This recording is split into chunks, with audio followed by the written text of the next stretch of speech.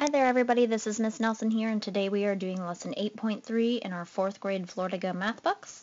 Lesson 8.3 is called Multiply a Fraction by a Whole Number Using Models. So we're going to use pictures. Um, if you're in my class, you should be filling out page 325 in your big math books as we are watching this lesson. Okay, so we already learned in 8.1 and 8.2 how to multiply fractions by a whole number. This is just taking it one step further and drawing pictures to match that. So we have the problem here, 3 times 3 fourths. Let me read the whole word problem though. Raphael practices the violin for 3 fourths hour each day. Each means multiply. He has a recital in three days, so how much time will he practice in three days? So that's where we get our 3 times 3 fourths. He has three days and he's practicing for 3 fourths of an hour each day.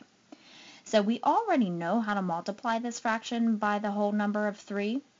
We just do the whole number times the numerator. 3 times 3 is 9, and the denominator stays the same. So our answer is going to be 9 fourths is how many hours he practices in all. Now the new part for lesson 8.3 is drawing a model to match that.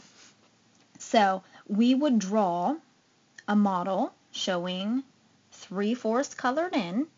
So we just draw a circle model, we break it into fourths, we would color in three of those, and we needed to do that three times because that's what we're multiplying by. So there's my first one done.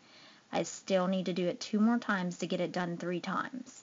So I'm coloring in 3 fourths the second time, and here I color in 3 fourths the third time. So for my first group of 3 fourths, it's just 3 fourths, that's it. Then when I add in my second group, I not only have the 3 from before, but I have 3 more, which would give me 6 ninths altogether, or sorry, 6 fourths altogether. That's a 4 on the bottom, 6 fourths. And then when I add in my third group, so I had 6 plus 3 more, would give me 9 fourths. So 3 times 3 fourths is 9 fourths. So just to recap, we already know how to do this. You multiply the whole number times the numerator, and then the denominator stays the same. The only difference this time for this lesson is drawing a model to match. So your models, you would draw this model, so you would make it into fourths, and you'd have to do that same model whatever your whole number is. In this case, it's three times. So that's how you multiply a fraction by a whole number using models. Um, if you're in my class, you should have filled out 325 um, as you were watching this lesson. And the password will be pencil to put in your planners to let me know that you watched this video.